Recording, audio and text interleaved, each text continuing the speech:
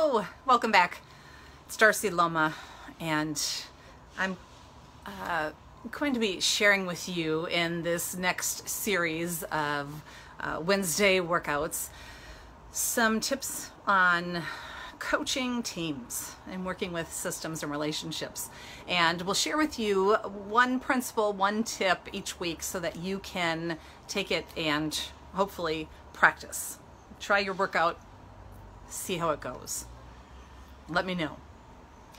For this first week, I want to just set the foundation to uh, when you're to what does it mean to be uh, working with a team. So if you are a leader or a manager and or a coach and you're going to be working with a team, it's a, a group of individuals who have a shared purpose, a common vision. It's not a group of individuals who are have their own individual goal. So that's first thing I want to share is we're looking at a system, whether it's a, a couple, a relationship, uh, an executive committee, a team who wants to be more effective.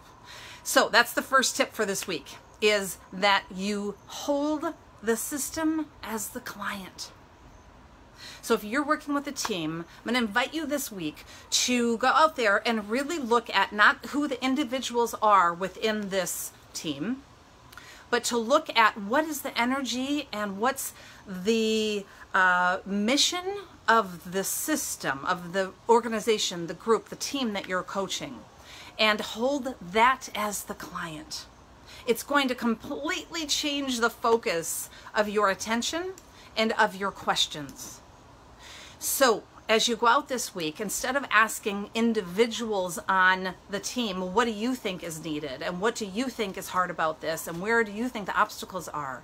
You're going to shift the focus of the team and ask the questions about what's needed on this team. What do you need in terms of awareness to have uh, new ideas? What's the obstacles getting in the way of you guys being as effective as you want? What do you need as a team to be able to reduce the tension so that you can have real conversations?